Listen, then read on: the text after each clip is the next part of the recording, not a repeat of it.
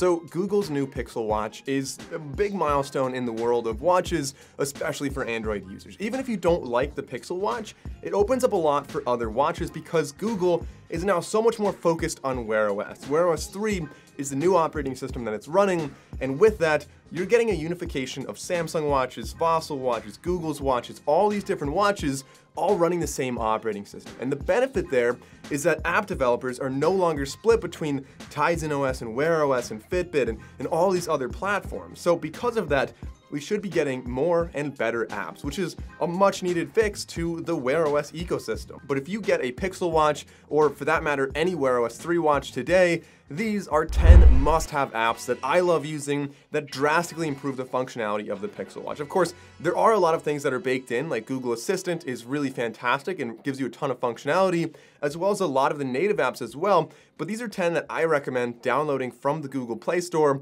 to really add more functionality to your watch. The first one is one that I fly a lot. I love traveling, and this is called App in the Air, which is a great way to track your flights, your layovers, how long you have until boarding and things like that without without needing to take out your phone and open up the American Airlines app or whatever every single time. This app is called App in the Air, and essentially all you do is either scan your boarding pass, have it look in your email, or just type in your flight number on your phone for when, whatever your trip is, and then you can just check your watch on the app. It's really a great way to, like I said, it shows you how long you have until boarding, how long you have between flights, what's next, and when you're moving around an airport, your hands are full, you don't always have the ability to take your phone out and check stuff like that. Checking your watch, I use this, I swear I use this all the time. It's really one of the best apps. Even though it's number 10 on this list, for me personally, it's probably a lot closer to number one. Next on the list, we have number nine. This is Google Keep. Personally, I'm a big Microsoft OneNote user. I love having my notes on there across all devices. Unfortunately, we don't really have that on Wear OS right now, but we do have Google Keep, which is really a close second, and that's why it's on this list. It's a great way to take notes and have it shared between all different devices, and it's not just some extra app that you have to download on every device. Most people have Google or some version of Google Chrome or, or the Google app on any different device they have, and so access to Google Keep is usually very easy. It's signed into your Google account, it's a great way to record notes, otherwise see like grocery lists when you go shopping, or if you think of something on the go, take a little voice memo on Google Keep. It's really a fantastic app that can keep me a lot more organized and do all of that just by using my watch. Number eight is one, if you love working uh, or otherwise just are always tied to your email, this is Microsoft Outlook. Although I wouldn't really use this a ton for emails, it could be a great way to keep your schedule straight if you're in a work environment. I know a lot of businesses use Microsoft in their business suite, so having Outlook on your watch could really be a big positive there. So next on this list, we have an incredibly powerful one that is great for automation and, and linking different services, and this is if this then that, or IFTTT, and essentially what this does is you have a trigger event, and if that trigger is met, then an action happens after that. And this integrates many different apps, whether they're social media, Google Calendar, uh, smart devices in your home, it could be anything like that. So specifically with the Pixel Watch, because it's using Fitbit as its, as its native exercise tracker, I could see if this then that really working well with this. And so you could do things like if you reach your step count, maybe then uh, share it on Instagram or, or Twitter or something like that. You could also add extended notifications from other devices. So you could say if a timer goes off on your Amazon Echo, then notify you on your watch. And so that way, if you're in another room and the timer goes off, something in the oven's done, you'll get notified on your watch. Or maybe you'd want to track the weather and say if the current pollen count is at a certain level, then turn on your air purifier, which is connected by a smart outlet or something like that. So you can see how if this then that really gives you basically infinite possibilities for how you can automate different aspects of your life and your smart home and your fitness and different things like that and having your watch as not only an input with health and fitness tracking, but also as a notification method for you, just really gives you more functionality. And that's why I think the app on here is just such a cool thing to have. Moving on to number six is kind of on the same track there. This one is great for tracking calories. It's great for, I mean, it's a big, it's really super popular. People love this app. This is MyFitnessPal. It's one that people have been using exclusively on their phone for a really long time, like I said, to track calories. Because honestly, if you're trying to lose weight, one of the most important things is knowing how many calories you consume per day. And just the action of logging your food makes you think a little bit more before you go and eat that extra bag of Doritos. And having that on your watch gives you one less less excuse to not track your calories. It's so much more accessible. You don't have to always have your phone with you or your phone might be dying or dead. You just have another device that has that on there. MyFitnessPal, easily number six on this list.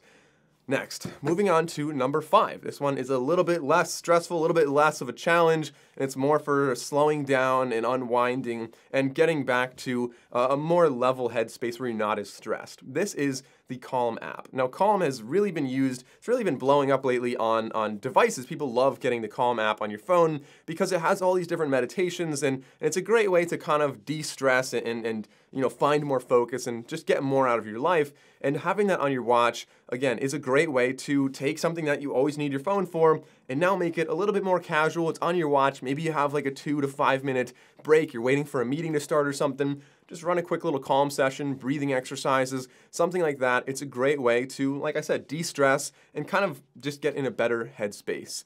And before we get to number four, I want to mention that I'm using the Pixel Watch a lot. And with that, I'm learning a lot more, and I will be learning a lot more for the next month. So if you want to see my one month later review where I really focus on the nuances, the little quirks, the features, everything about this watch that you don't always notice on the first couple days, definitely do click that subscribe button. That video will be coming out very soon, and depending on when you're watching this video, it may already be out, in which case I will link it down below. So with that being said, number four, this is one that is really focused for, for going outdoors, uh, some more long like trail runs and biking and things like that. And this is the Komoot app, which I know a lot of people, one of the reasons you, you might be considering buying the Galaxy Watch 5 Pro is because you want that trackback feature, you really want the trail planning, the route planning, well, Komoot already does that. And so Komoot has a very large network, a lot of people planning routes on there. It's really a popular app. And so having that on your watch, on any Wear OS device for that matter, means that you're getting a lot of those more premium Galaxy Watch 5 Pro features